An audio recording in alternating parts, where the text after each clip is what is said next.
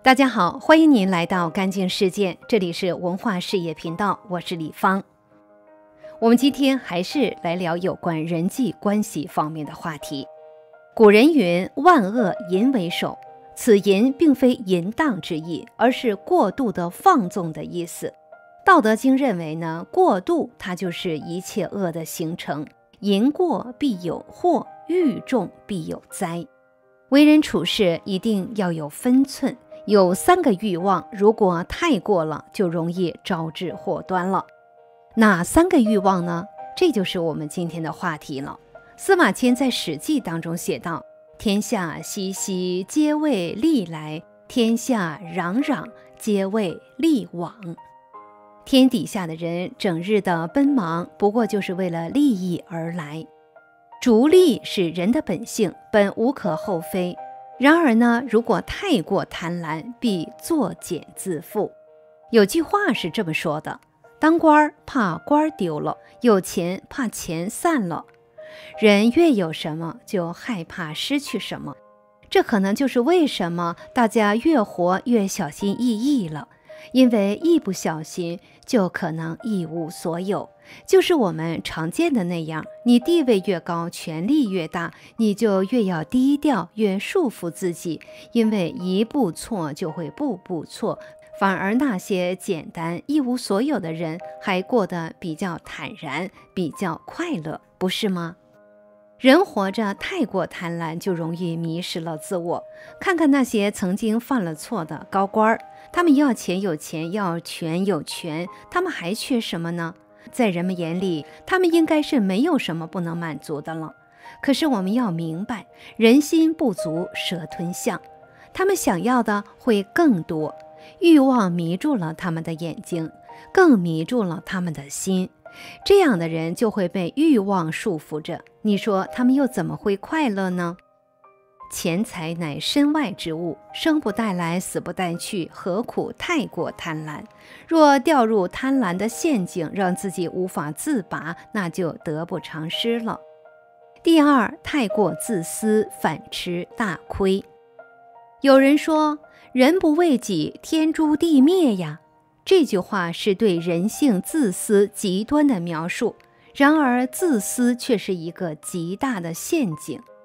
自以为聪明的人才会以为无私是傻子才会干的事儿，有智慧的人早就看透了，无私吃的是眼前亏，是小亏，讨的是日后的大便宜，大便宜就是大福气了。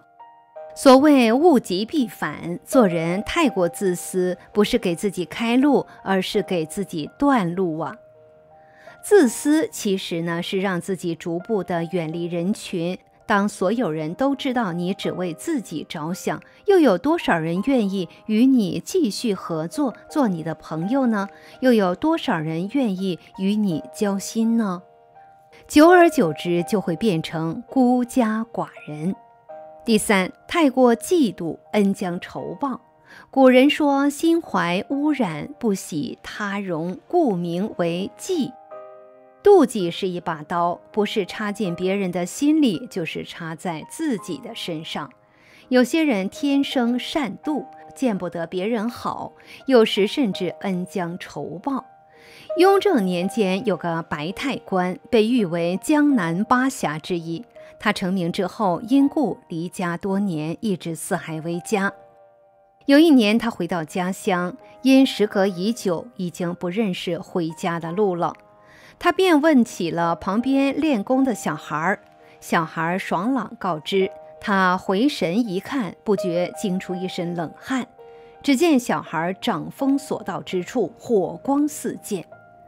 白太官心想：小小年纪功力如此惊人，长大以后肯定会超过我。于是，在强烈的妒忌心的驱使之下，他一掌将小孩打死。小孩在断气前只说了一句话，白太官只觉得五雷轰顶，懊悔无极。他说：“我爹爹白太官一定会找你报仇的。”其实，任何人都能变得狠毒，只要他尝试过什么叫嫉妒。就像一个人嫉妒另一个人，就恨不得变成世人的兽。这是人性当中最阴暗、最愚蠢的一面。人生在世，最重要的是调整自己的心态。看到别人好，切不可心怀嫉妒，要知恩图报，用一颗包容的心去爱世间的一切。《道德经》有云：“含德之厚，比于赤子，内心白璧无瑕，如同刚刚出生的婴儿一般，赤诚纯洁，坦诚干净。”人生之初本就纯洁无瑕，是太多的欲壑难填，才导致了人生悲剧。其实呢，人的一生不需要大富大贵，开开心心就好了。往后的余生，擦亮眼睛，加强自律，躲过这些欲望的陷阱，那便是福气了。好，以上呢就是今天的分享，感谢你的关注。如果喜欢，请记得分享给您的朋友。好，我们明天不见不散。